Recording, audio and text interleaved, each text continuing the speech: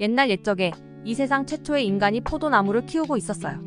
어느 날 악마가 찾아와서 무엇을 하고 있느냐고 물었어요. 인간은 지금 아주 멋진 식물을 키우고 있어요. 이 식물에는 달콤하고 맛있는 열매가 열리는데 익은 후에 즙을 마시면 아주 행복해진답니다. 라고 대답했어요. 악마는 이 식물을 본 적이 없어서 놀라워하며 자신도 한 모금 끼워 달라고 부탁했어요. 그래서 악마는 양, 사자, 원숭이, 돼지를 데리고 왔어요. 악마는 이 동물들을 죽여 그 피를 포도나무의 거름으로 썼어요. 그 후 포도나무는 잘 자라서 포도주가 세상에 처음 생겨났어요. 그래서 사람이 처음 술을 마시면 양처럼 온순해지고 조금 더 마시면 사자처럼 사나워지며 조금 더 마시면 원숭이처럼 춤추거나 노래하게 되고 더 많이 마시면 돼지처럼 추하게 행동하게 된다는 거예요. 이것은 악마가 인간에게 준 선물이기 때문이에요. 이 이야기는 술을 많이 마시면 안 된다는 것을 가르쳐 줘요. 술을 마시면 기분이 좋아지지만 많이 마시면 결국 나쁜 결과를 초래할 수 있다는 교훈을 주는 이야기랍니다.